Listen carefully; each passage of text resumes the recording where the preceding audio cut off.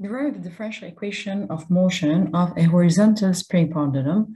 And we'll use two methods. We'll use the conservation of mechanical energy and the Newton's second law.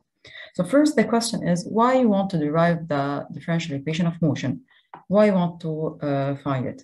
So we know that any object uh, from last year, if I have, for example, a car which is moving on a horizontal trail, okay, so in order to know the motion, to study the motion of this car at any instant.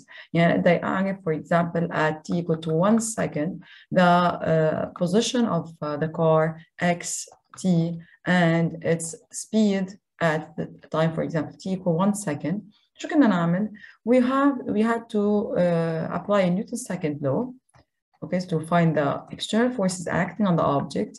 And when I apply Newton's second law, I would know the acceleration of the car. And then from the acceleration, I would find the velocity and I would find also the position. So it was rectilinear, then I would find the position x.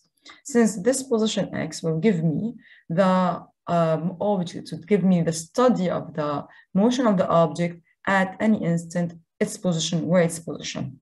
The same thing here, in order to uh, find the position of the pendulum during the oscillation motion at any instant, يعني in order to find x of t, okay, I must do, there, there's must uh, an equation to solve it. And what's the equation that I must solve? So the equation that I must solve is the differential equation of motion. Now, how to find this differential equation? So first, I can find the differential equation using two methods. But let's take, for example, uh, the, uh, a horizontal spring pendulum. So the spring is fixed to a support from its extremity and a body M is attached to the other extremity and it can slide without friction. So this is important here. The body is shifted from its equilibrium position by xm. So at t equals to zero, this is at t equals to zero. It's at xm and then it's released.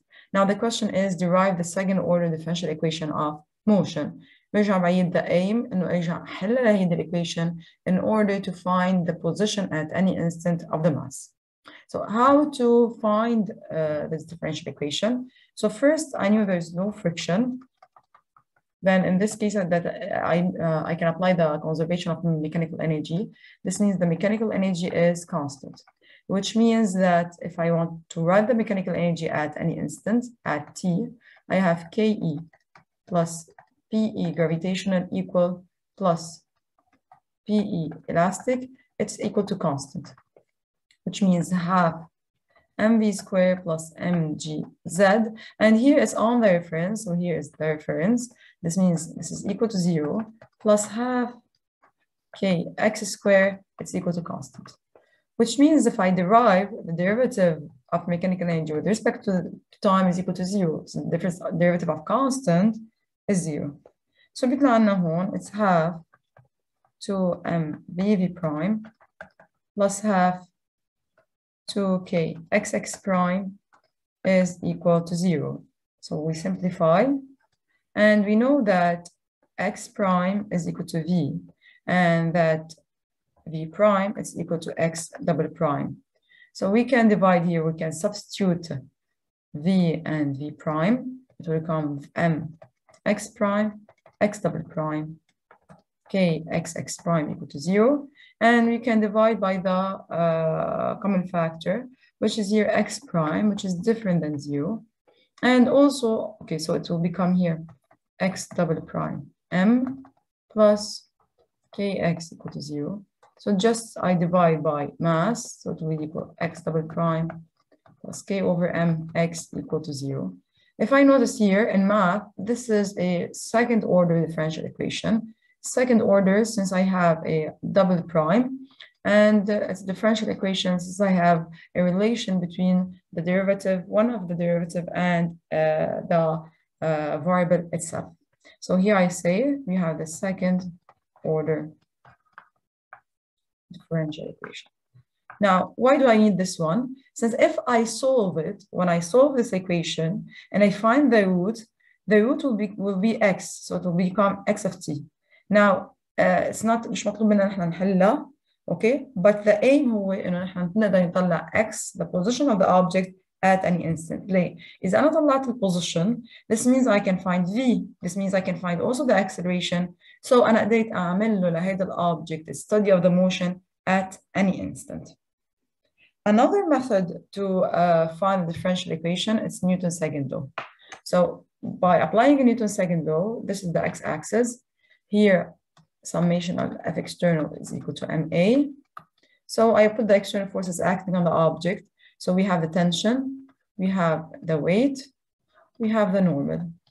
This means weight plus normal plus tension is equals to MA.